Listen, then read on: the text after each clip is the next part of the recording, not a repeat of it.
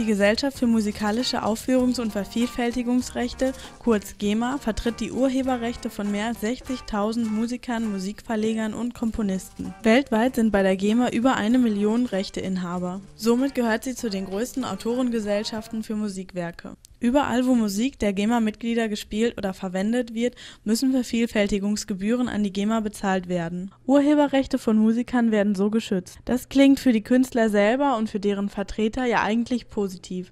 Es scheint aber einen kleinen Haken zu geben.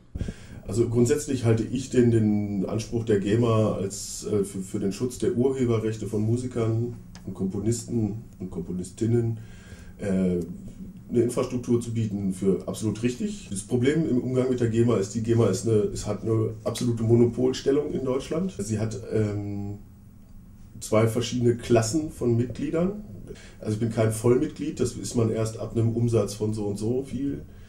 Und die GEMA hat sich erlaubt, in den letzten Jahren einige ähm, Verfahrensveränderungen vorzunehmen, die kleine Künstler sehr stark benachteiligt gegenüber größeren Künstlern also die GEMA hilft leider nicht so, wie sie helfen könnte. Also die GEMA kassiert von den Clubs, kassiert von den ganzen, weiß nicht, Restaurants, Kneipen, Clubs bei Partys oder wie auch immer bei Konzerten. Immer äh, hält die GEMA ja eigentlich die Hand auf. Problem ist nur nachher dann die Ausschüttung, die Vergütung. Also ähm, es ist da dummerweise so, dass dann ein wie auch immer gearteter GEMA-Beirat beschließt, wie nachher alles, was in diesen großen Topf kommt, ähm, ausgeschüttet wird.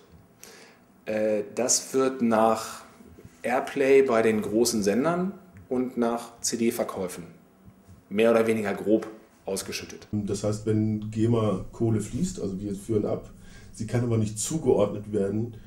Ähm, also hier spielen immer wahrscheinlich kleine Bands, ähm, dann werden die nach den Charts verteilt. Das heißt also, hier spielt eine kleine Independent Band und die Kohle, die die GEMA dafür einstreicht, kommt unter Umständen bei Dieter Bohlen an. Äh, das finde ich zutiefst bedauerlich. Aufgrund der Einbrüche im Tonträgermarkt wie illegales Brennen oder Downloaden läuft das Musikgeschäft nun nicht mehr allzu gut. An Live-Acts kann man trotz dieser Tatsachen weiterhin gut verdienen.